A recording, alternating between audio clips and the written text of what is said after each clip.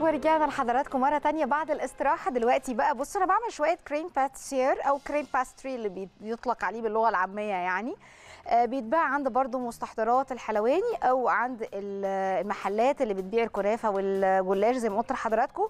بيبيعوه powder وفي في السوبر ماركت إحنا جبنا أهو من السوبر ماركت آه، أكياس كده معروفه برضو اسالوني وأنا أقول لكم على الصفحة الشخصية شيف عظيمه حمدي بالعربي. بعمل منه شوية. بصوا حطيت شوية لبن وعليه المعلقتين الكبار منه. وبقلبه يديني بس حشو كده ظريف أقدر أحشي بيه من الجلاش. ده حلو. و... وأحط عليه شوية سكر بودرة ويطلع جميل معلقه سمنة بلدي وشكرا. أو لو في شربات أو سيرب زي ما أنتوا عايزين. يعني أقصد في أفكار كتير نقدر نعملها ببساطة في البيت. ده شكل المطبق بعد ما عملناه اللي محشي بالتونة والخضار. وتقدروا حضراتكم تستخدموا أي حشو أنتوا عاوزينه. أي حشو يعني متاح في البيت وسهل علينا نستفيد منه. أي فائض من أي لحوم أو فراخ أو أي حاجة وعلى فكرة ينفع بالخضروات بس. يعني مش شرط تونة ممكن يتعمل بالعدس ويتعمل بال... معاه فلفل ألوان ويتعمل بالذرة ويتعمل بالمشروم ويتعمل بحاجات كتير قوي قوي للناس كمان حتى الفيجيتيريان اللي هم مش بياكلوا أكلات فيها لحوم وغيره. طيب عايزة أنزل مع حضراتكم عقبال ما الكريم pâtissière ده يبدأ يمسك معايا كده ويديني آه، قوام آه، تقيل. آه، هنزل مع حضراتكم مقادير الفطير المشلتت اللي هنعمله بالجلاش. وصفة بسيطة وسهلة قوي. آه، هنستغلها دلوقتي مع بعض و- ونشوف هتتعمل إزاي. اقلب بس دول كده كويس. علشان الستانلس بيلسع دايما فدايما أي حاجة ستانلس لازم آه، يبقى نار هادية إما أنا على طول متابعاها عشان ما تشطش ده مهم جدا. النار لازم تكون هادية. ودي من أهم الحاجات اللي بتخلي ساعات الحاجات تشيط في الستانلس. وطبعا هو بياخد وقت شوية لما بيسخن عشان لما بيكون ستانلس ال- الأصلي 18 على 10 ده بيبقى آه، بياخد وقت شوية في التسخين. لكن الحقيقة أنا بحب أستخدمه قوي بصراحة. يعني بحبه. طيب هننزل مقاديرنا. إحنا عندنا للفطير المشلتت بالجلاش. عندي لفة جلاش. اللفة دي تعمل فطيرة حلوة كبيرة جميلة. أو لو عايزين تقسموها على فطيرتين وسط برضو اللي يريح حضراتكم. لكن هي لو تطلع مورقة وكبيرة هتبقى اللفة يا دوب. نص كيلو. هي نفس بالظبط معيار الكيلو دقيق. لما بنعمله في ال- ال- الفطير مشلتت العجين بنفصل الكيلو ده على فطيرتين فبتطلع نص كيلو دي فطيرة حلوة ما شاء الله كبيرة وجميلة. طيب آه عندنا لفة الجلاش هنحط عليها ثلاث معالق كبار قشطة. القشطة دي ممكن تبقى وش اللبن اللي عند حضراتكم. أو لو عندكم قشطة علب برضو ما فيش مشكلة. عندي علبة زبادي وعندي ثلاث معالق كبار من السمنة. ولو عند حضراتكم سمنة بلدي هتبقى تمام. معلقة صغيرة من ال baking powder معلقة صغيرة من السكر ورشة من الملح. هو ده اللي هنستخدمه في الفطير. يبقى هقول تاني لفة جلاش معلقة كبيرة من القشطة. قشطة بلدي أو وش اللبن أو آه، قشطة علب. وعندي علبة زبادي. وعندي ثلاث معالق كبار من السمنة. وعندي معلقة صغيرة بيكنج باودر وعندي كمان معلقة صغيرة سكر ورشة ملح. هي دي المقادير. محمد فضيلي دول في شوية مية صغيرين قوي. وقلبهم وهاتهم لي أزودهم. هنقلب بقى كده. أيوه. هبدأ بقى أشيل هنا. وهنسقي بقى الايه الكريم ده آه، على الفطير كبديل للشربات أو لل- للبن السخن أو هتدوقوا فطيرة مسكرة روعة. هعملها دلوقتي معاكم بس خلينا الأول نبدأ في مقادير الجلاش بتاعنا. طيب هناخد أم جوزيف. صباح الفل عليك يا أم جوزيف. ألو أهلا أهلا صباح أهلاً. العسل يا شوف عظيمة حبيبتي ازيك إزاي صحتك يا حبيبة أهلا قلبي؟ بيكي يا قلبي ازيك الحمد لله بخير. الحمد لله ربنا يخليك وتسلم ايديك يا قلبي. تسلمي الله يخليك يا رب. حبيبة قلبي ربنا يديك الصحة وتسلم الأيادي يا قلبي. آمين يا حبيبتي تسلميني ما تحرمش منك. أيوه أيوه يا شيف عظيمة معاكي. أنا معاكي قولي لي يا حبيبة بصي عمري يا شيف عظيمة يا رب اتفضل. يخلي معاكي معاكي معاكي يا عمري. حياة ربنا العيش الفينو يا شيف عظيمه يا رب يخليكي عينيا. اللي هو اللي يكون عريض يعني مش ال- البلدي. آه. حاضر. العيش البلدي؟ ولا العيش- عايزة العيش الفينو؟ البلدي، آه، العيش البلدي. من عيني من عيني ما هو آه العيش الفينو البلدي بتاعنا. ما في مش السوبر لا مش عايزة السوبر اللي هو الهش ده لا عايزة فيه منه عيش فينو بلدي. يعني العيش بيستمر معانا مثلا ثلاث أيام أربع أيام يعني حاضر. من عينيا. من عيني الاثنين هعمله لك قلبي. وعلى فكرة عينيكي، الوصفة يخليك الوصفة اللي انت طلبتيها آه. بتاعه آه. العدس المدمس البجبة الأسبوع ده؟ هتشوفيها آه عامله آه. لك واحدة رائعة جميلة هتعجبك قوي أنا أنا عارفاكي شاطرة وجميلة وممتازه يا رب ربنا يخليكي حبيبتي يا رب. تسلمي لي ما ما تحرمش منك بتأخريش علينا بأمانة ربنا ما يديك أقدرش. الصحه ويخليكي لينا يا عمري ربنا يخليكي ما وتسلم قناة. الاهلي كمان اللي هي جايبانا على القمر بتاعنا ده. يا رب يخليك. حبيبتي تسلمي لي ما تحرمش منك يا أم جوزيف. نورتيني وشرفتيني. شكرا ليكي حبيبتي وشكرا لثقتكم الغالية والله. أنا حطيت كل المقادير على بعض. الزبادي والقشطة والسمن البلدي. كل الحاجات ومعلقه السكر. كل ده أهو ده الخليط.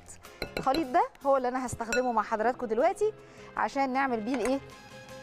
ال- آه، الفطير المشلتت. هاخد بقى كده ملفه الجلاش هنفردها برضو مع بعض. بسم الله الرحمن الرحيم. كده. وبعدين هنبدأ ناخد ورقة ورقة كل ورقة عكس التانية. هنوري حضراتكم برضو التكنيك عشان تطلع مورقة وحلوة.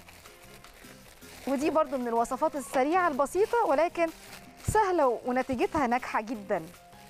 الحقيقة يعني لأنه هو برضو من الحاجات المحببة. الجلاش برضو إيه يعني ينفع نستفيد منه في حاجات كتير قوي قوي. بسم الله الرحمن الرحيم. وأنا قلت لحضراتكم أنا بستخدم آه، أنواع في يعني غير اللي في السوبر ماركت ده الجديد. أصل أنا أي نوع جديد بينزل ببقى عايزة أعرفه. ليه عايزة أعرفه؟ علشان لما حضراتكم تسألوني أبقى أنا عندي رد. الرد ده عمره ما هيجي طول ما أنا مش عارفاه أو ما استخدمتوش. لازم أستخدمه. عشان لما أستخدمه أقدر أرد. أقول ده نتيجته كانت عاملة إزاي. طب الفرق بينه وبين ده في إيه؟ شوفوا هنا الورقة زي ما بقول لحضراتكم. بصوا الورقة محملة شوية. هدهن هنا الأول. إيه السمنة بتاعتي يا محمد. هات لي شوية سمنة. هدهن من الخليط ده بس الأول هنا في القاع. هنا كده. كده. وبعدين هاخد بصوا بسم الله. هنزل كده الورقة هنا وهاخد منها شكرا يا محمد. وهدهن من الخليط اللي إحنا خلطناه اللي هو عبارة عن القشطة والزبادي والسمن ومعلقه السكر وشوية ال baking powder أهو. وهاخد الورقة التانية بسم الله. هبدأ عكس. وكل ورقة هاجي أقفلها وأنا بقفل في ال- الفطيرة هقفلها برضو بالعكس وهدهن فوقها عشان تفضل توصل للشكل اللي حضراتكم هتشوفوه اللي هو الشكل المدور أهو كده والعكس. شايفين إزاي؟ فتورق معايا. أنا مش عايزة أقصها وبعدين أبدأ أعملها على قد الصينية لا أنا عايزة أستفيد بالأجزاء الكتيرة دي إنها تديني فوليوم أو ارتفاع للإيه؟ للفطيرة بتاعتي. زي ما حضراتكم شايفين كده. هاخد تاني. هتاخد اللفة كلها. أنا شايفة إن اللفة هتبقى مناسبة. بسم الله الرحمن الرحيم. أهي. هعمل كده. أهو. عشان تطلع معايا الفطيرة كويسة وليها سماكة كويسة. تمام. كده. عادي جدا. وبعدين هاخد تاني. بسم الله وهعمل كده. شايفين من كل الاتجاهات هما ثلاث اتجاهات. كل مرة أحط ورقة أخدها في الاتجاه العكسي. العيش ده في ناس بتعمله جميل وفي ناس في أمريكا بتبقى العيش متعودة على العيش الشمسي والعيش البلدي والعيش اللي ما بتلاقيهوش وبيعملوه في البيوت والله بأبسط الأمور. والعيش الشمسي كمان من الحاجات المحببة قوي عايزة أعمله لأنه في حد كان أم من أمهات الجمال يعني قابلتني مرة في السوبر ماركت وقالت يا بنتي أنا عايزاكي تعمليه بطريقة سهلة. أنا لا أنا قادرة أنشف ولا أنا عندي المقرصة اللي بيتعمل عليها دي ولا عندي الحاجات دي خالص. فأنا نفسي أعمله وبحبه. فمش هينفع يتنشف في الشمس زي زمان. فخلينا بقى نبدأ نعمل وصفات نقول إيه تناسب ال- السرعة وتناسب الايه الجيل الجديد بتاعنا يعني.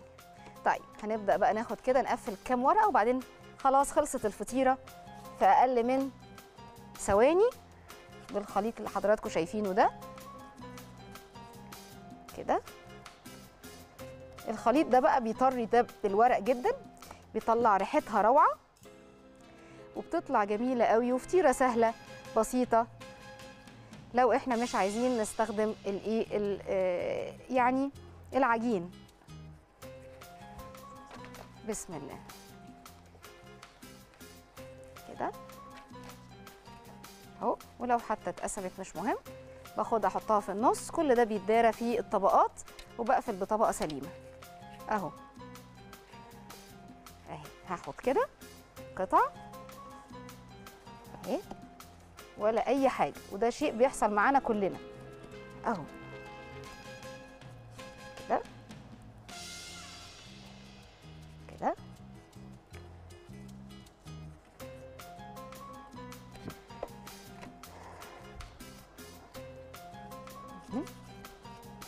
وبعدين هنبدأ نقفل بقى كل الأطراف دي لجوه عشان نقفل الفطيرة.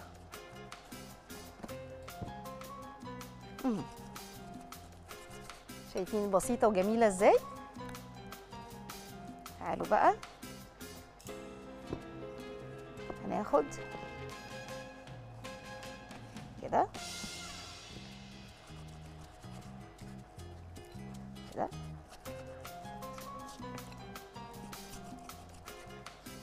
وبعدين الجزء ده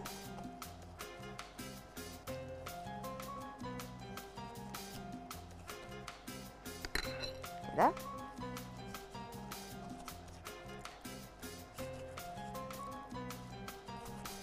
لا مش هنرفعها لفوق عشان هي مش فطير شرقي هي شبه المشلتت. إحنا عاملينها مورقة تبقى زي المشلتت اللي إحنا بنغمس بيه العسل والمش والحاجات دي. لكن الشرقي زي اللي إحنا عملنا بيه الجلاش المطبق وما بيسألوني دي زي ما عملنا بيه الجلاش المطبق اللي إحنا إيه سويناه في الطاسة ده كأنه بديل الفطير الشرقي لو أنا مش قادرة أعمل عجين وأعمله في البيت. أهو بصوا بتتقفل. كده هنا. أهو أهي. شايفين إزاي؟ هاخد دول. ونقفل. دي الأول. كده. وناخد دي. ونقفل. شوفوا بقى تبدأ تعلى وتاخد شكل الفطيرة. أهو. كل الطبقات. وإحنا في كل طبقة بندهن عشان تفضل محافظة على طراوتها وتحافظ على إنها تطلع مورقة. وطبعا القشطة مفيش أجمل منها واصلا اللي بيميز الفطير المشلتت إيه إلا نوع. السمنة البلدي آه، اللي بتتحط بين الطبقات. وهناخد كده هنا هنقفل كده ونحط كده أهو. وآدي دي طبقة كمان بس نقفل دي الأول ونحط عليها. وتدخل فرن على حرارة 180 عشان تسوي الحروف كويس يعني تبقى كلها من جوه وبره مظبوطة جدا. اهو. بصوا بقى الجمال. اهو. دي. كل الطروف دي مهمة. شايفين إزاي؟ ونقفل اهي. أيوه صح. بس شوف بقى هي. هتطلع بقى من الفرن تقلبوها كده تطلع فطيرة رائعة. اهي. خدت بقى على الوش بتاعها الحاجات الجميلة كلها. حطينا السمن. ممكن طبعا تحشوها اللي أنتوا عاوزينه. انت لو عايز بقى تحطها حاجة حلوة تعملها حلو تحشيها زي ما انت عايز. دي ميزة بقى ان أنا عندي عجينة سهلة تساعدني. وطبعا بزود بقى في الأطراف هنا خلاص لأن كل ده بيسيح اما بتدخل الفرن تخلي الفطيرة جميلة. وأنا ليه قصدي اعملها في صينية آه، قصيرة زي بتاعه ال- الفطير عشان تطلع على طول وتبقى مظبوطة. طيب. خليني امسح بس كده إيه المكان هنا كده وهمسح دي. كده. تعالوا بقى بينا. هن عايزين بقى نطلع للاستراحه بس هندخل الأول الفطيرة الحلوة بتاعتنا دي الفرن. هحطها على الشبكة في النص بقربها بس لتحت شوية. هخليها هنا ونسيبها وممكن تشغله فوق على الهادي يبقى فوق وتحت مع بعض مفيش أي مشكلة خالص. في الفطير الشرقي اعملوا كده في البوتاجاز يعني في الفرن البوتاجاز. هنقفل هتاخد لها حوالي 25 دقيقة على حسب درجة حرارة الفرن عند حضراتكم. وبعدين تطلع فطيرة مشلتتة زي اللي أنتم شايفينها قدامكم دي. ودي إن شاء الله تطلع معانا في نهاية الحلقة وتشوفوا شكلها آه عامل إزاي. آه بعد ما بتطلع بقى بالشكل الحلو ده تقدروا بقى بصوا مورقة وهشة وليها شكل إزاي.